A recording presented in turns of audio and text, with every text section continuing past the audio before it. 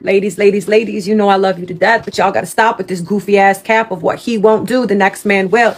As a 38 year old eligible bachelorette, I could tell you right now, the next man probably won't. You'll get it worse from him.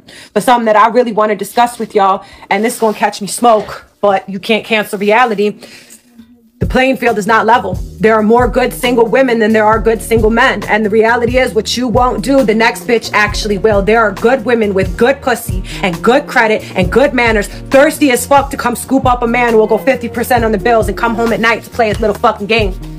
You feel me? You're so worried about aesthetics and keeping up with the Joneses and what so and so did on fucking Instagram. You feel like your man ain't putting on for you. Let me tell you something. A good man is a man who comes home every night. It's a man who listens and communicates to you. It's a man who doesn't cheat. It's a man who pays bills and shows up for the children and fixes things where he can. That's a damn good fucking man. And the same way that you want to be loved, he wants to be loved too. Everybody is a fucking prize, not just you. Stop expecting these men to jump through fucking hoops.